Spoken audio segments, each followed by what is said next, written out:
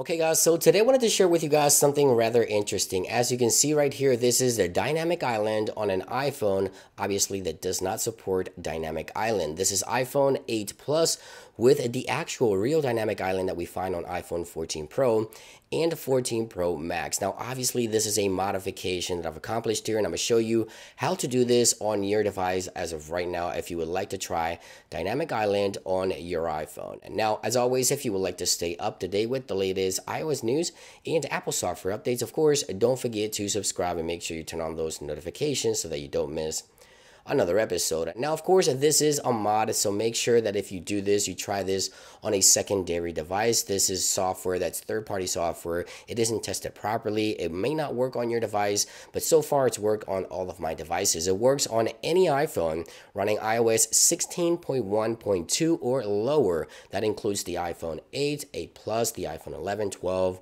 the iPhone 13, the iPhone 13 Pro. I have an iPhone SE third generation here, which I'm going to show you how to accomplish Dynamic Island on your device. Again, if you want to try this, keep in mind this is third-party software. It isn't tested properly, so just make sure that if you're going to try it, you try it on a secondary device. So let's just get right into the video. Now, here's the iPhone SE. Of course, all the links will be in the description down below. The first one will bring you here. You want to scroll down until you find the app Santander. Now, this application is being signed by a third-party developer, so we're going to install it here, and we're going to allow permission once it installs onto the home screen. Now, if the application doesn't install for you, when you click the links in the description, just let me know in the comments and I'll update the link to one that does work. Now, before we launch it, it's going to give us the developer enterprise permission. So we're going to go into settings here.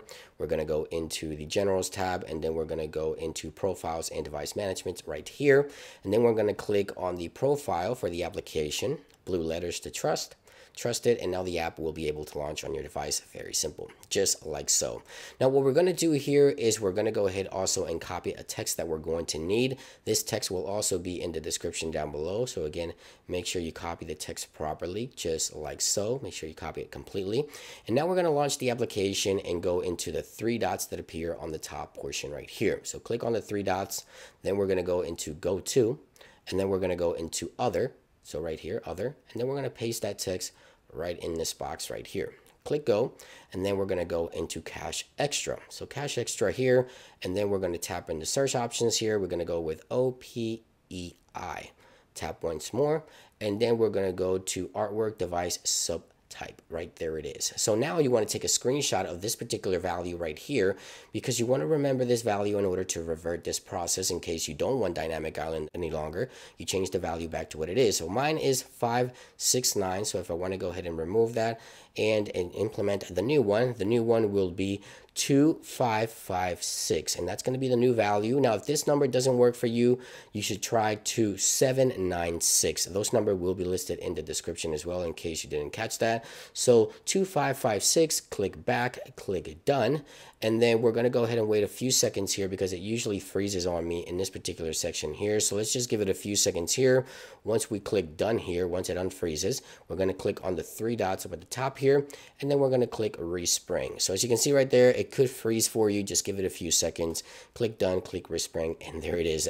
The dynamic island on iPhone SE. It does look like a square there, but once we enable it here, let's say with a timer, boom, we get the actual timer here, dynamic island on a smaller screen. It looks fairly interesting here, but it is interactive as you can see right there. I can go ahead and quit this actual timer here. So let's go ahead and stop the timer here and let's play some music. So if I play some music, obviously it goes to the dynamic island as well, just like so. It is fairly entertaining to see this on an iPhone SE, on iPhone 8. Again, it also works with devices that have notch and Face ID, but I think it looks better on devices that have Touch ID because these devices don't have any interruptions. With the notch, it just looks kind of weird, but it looks fairly interesting on iPhone SE third generation. Again, any device running iOS 16.1.2 or lower can actually do this right now. But again, this is not perfect software. If you want to revert the process here. Let's go ahead and quit the music.